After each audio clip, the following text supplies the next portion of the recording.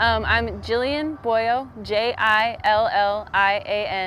B-O-J-O-H, and I'm a specialist at 3rd Infantry Division Band. Um, representing 3rd Infantry Division um, in this capacity, oh man, that got real pageanty real fast. Um, it's really an honor to represent 3rd Infantry Division here at the Riverbend Festival, um, especially with the rock band. Um, we're a popular music group um, and it's really fun to be invited to events like this um, and get to interact with the local community um, as well as help out with recruiting missions. So Nice. Um, how does it feel to play music in front of a live audience? It's amazing. It's it's a feeling unlike anything else. Um, just you know, getting that one-on-one interaction with different people in the crowd, um, just contributing to the overall mood and atmosphere of certain events like this.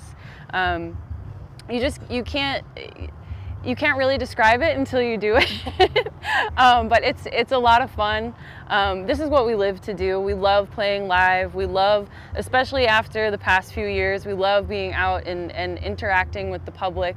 Um, and so we, we love it. Playing live music is it's what we've all wanted to do for our entire lives. So we're happy. We're happy to do it. Nice. Um, what does music mean to you? Music is probably my favorite form of communication. Um, no matter you know what language a person speaks, age, um, any other factors, people usually can relate to each other through music, um, and it's a great way to share experiences with other people. Um, like I said, it's it's one of the first ways that we learn to communicate. I mean, if you think about like when you're a little child, you know, singing nursery rhymes all the way up to special events where we do ceremonial things. Music just enriches um, the human experience. Um, so, how does the 3rd Infantry Division Band positively influence the 3rd Infantry Division? One of the main ways that we positively influence um, the 3rd Infantry Division would be contributing to ceremonial events. Um, one that particularly stood out to me, this is my first duty station, um, and so I was kind of struggling to find my purpose and my place, but we just did a Memorial Day service, um, and what really resonated with me was some of the Gold Star families.